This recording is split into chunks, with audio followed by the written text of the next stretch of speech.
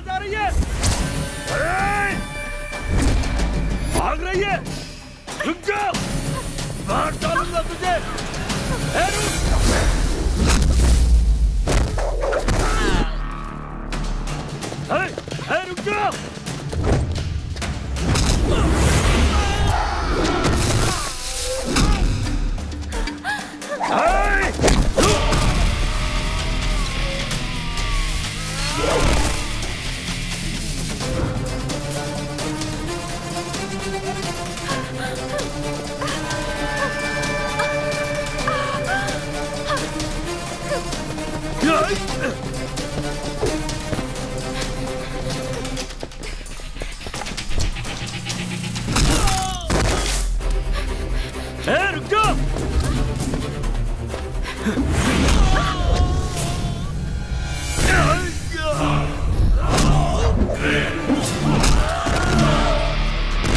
काव्या!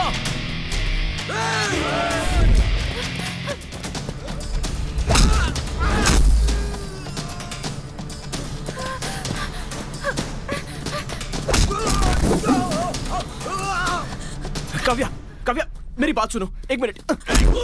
बस एक मिनट। चल चल इधर छोड़ो मुझे। छोड़ो। बहुत भाग लिया छोड़ो।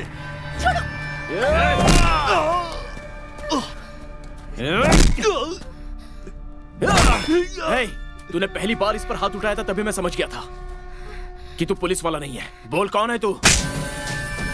बताता हूँ।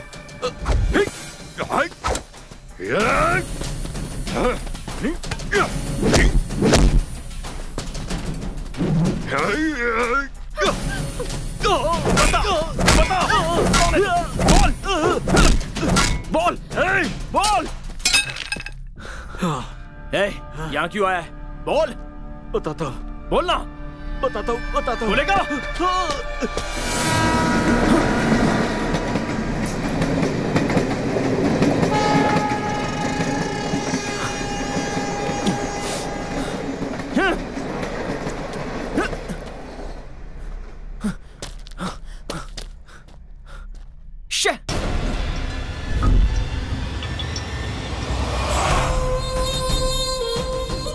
ऐसे कैसे निकल गई? उसका एक बॉयफ्रेंड है भाई।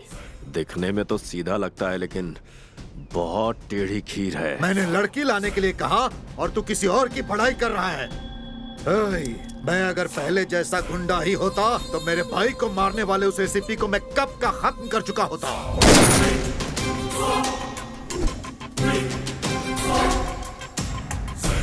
मैं एमएलए बनने के लिए इस बार इलेक्शन में खड़ा होने वाला हूँ। इसीलिए मैं नहीं चाहता था कि मेरा नाम कहीं भी उछले। तो मैंने तुम्हें भेजा। मैं उसकी बहन को पकड़कर उस एसीपी को मारना चाहता हूँ। वो लड़की मुझे चाहिए। वो लड़की मुझे चाहिए! काव्या आखिर है कहा तू? दो दिन में आने वाली थी और आज कितने दिन हो गए? शादी करने का फैसला कर लिया है मैंने। ये क्या कह रही है? शादी के नाम से तो तू भागती थी और तू कह रही कि तुझे शादी करनी है। ए सुन तेरी तबीयत तो ठीक है ना? मैं तो बहुत खुश हूँ। एक्चुअली मुझे खुश रखा है। मुझसे बहुत प्यार करता है। मुझे हंसाता है। अगर ज़रूरत पड़े तो जान भी दे सकता है। आखिर है कौन वो? अरे और कौन? वही लड़का। जिसने तुझे भगाया था वही है ना? हाँ वही। आज के जमाने में लड़के फेसबुक पे लड़कियों को ढूंढते रहते हैं। ज़्यादा लेट मत कर जल्दी प्रपोज कर। ठीक है ना? मैं कल ही उसे प्रपोज करूँगी। हम्म? Bye see you all the best okay Lakshmi?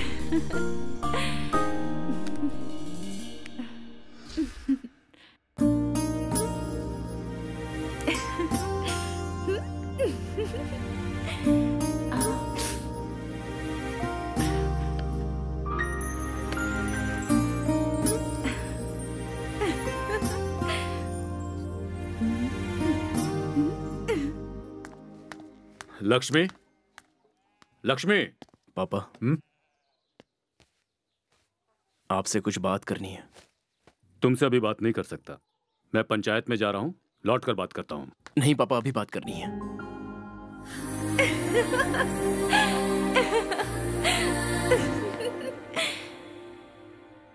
मैंने आपसे झूठ कहा पापा।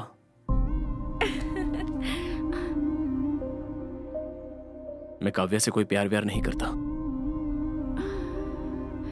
उस गुड़िया से शादी करना पसंद नहीं था। इसलिए ये सब ड्रामा किया। मुझे माफ़ कर दो, पापा।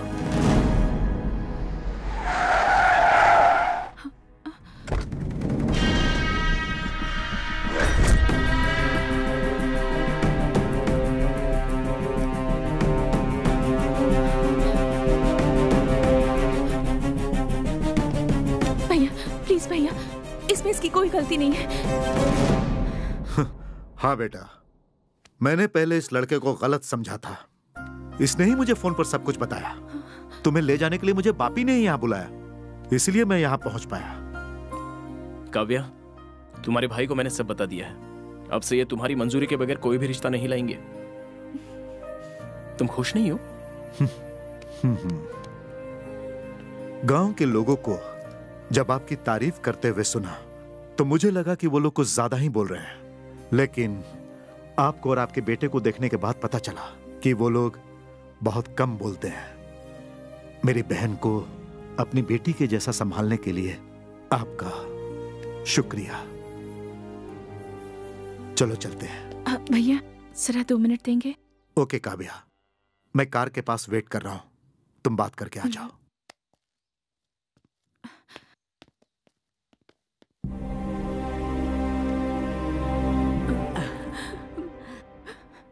बेटी काव्या, मुझे आज तक मम्मी डैडी कैसे होते हैं, ये पता नहीं था। लेकिन अगर होते तो आप लोगों जैसे ही होते। मैं चलती हूँ, माँ।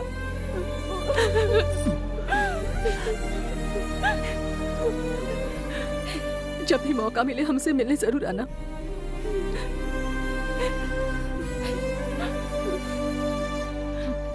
चलती हूँ दादी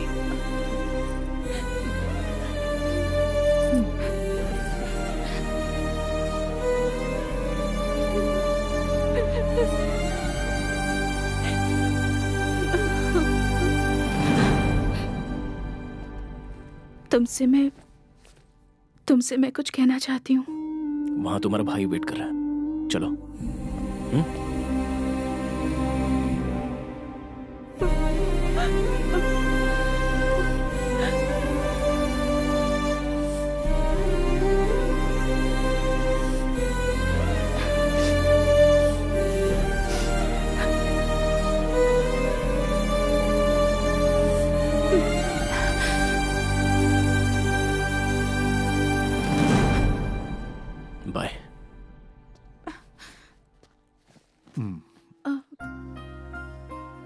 बहुत बहुत शुक्रिया बापी। जब हैदराबाद आओगे तो घर पर ज़रूर आना।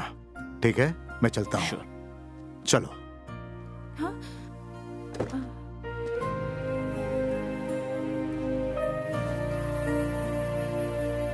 Take care Bapi.